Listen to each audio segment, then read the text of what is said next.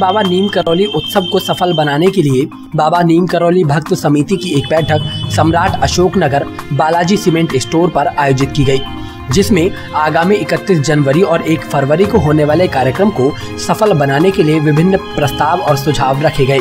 इस अवसर पर बैठक की अध्यक्षता डॉक्टर संदीप राज के द्वारा की गई और बैठक का संचालन अनिल शर्मा के द्वारा किया गया।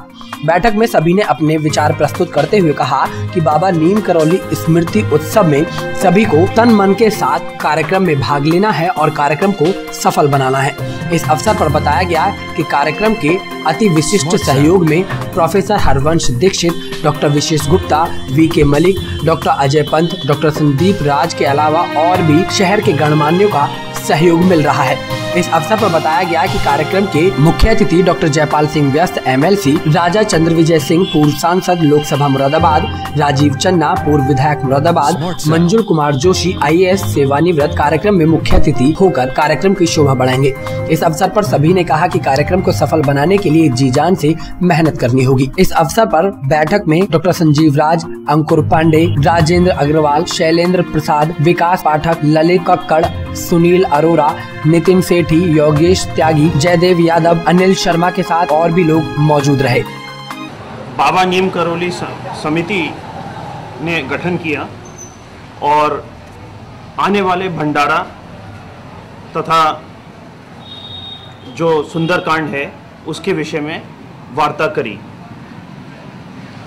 भंडारे की तिथि 31 जनवरी और ये जागरण की एक फरवरी तय करी गई है। इसका स्थान बालाजी सीमेंट स्टोर, साई अस्पताल के सामने सम्राट अशोक नगर, दिल्ली रोड, मुरादाबाद में तय किया गया है। इससे संबंधित जितने भी विचार विमर्श, सुझाव जो आए, उस पर नज़र डाली गई तथा आगे की क्या प्लानिंग करनी, करी जाएगी, उसके विषय में भी वार्ता करी गई।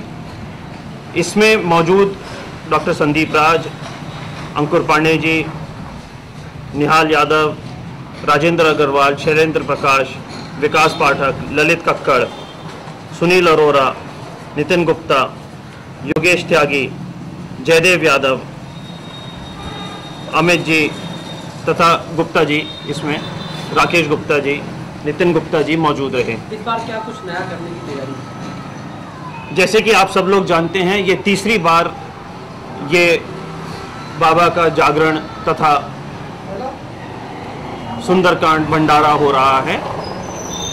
पिछली बार जो द्वितीय बार जब करा गया था तो अपार यु युवागण अपार लोग मुरादाबाद के इसमें जुड़े जिसकी अपेक्षा नहीं थी। इस बार और ज़्यादा लोगों को जुड़ने की संभावना है।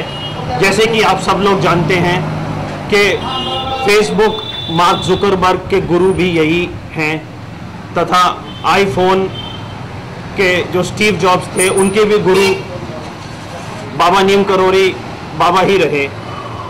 और अलग अलग आश्रम से, वृंदावन से, और मथुरा से, और कैंची धाम से काफ़ी लोग आने की अपेक्षा रखते हैं इस बार। इस बार का जो आयोजन है, पिछली बार से कहीं ज़्यादा बड़ा, अधिक और संपूर्ण रहेगा।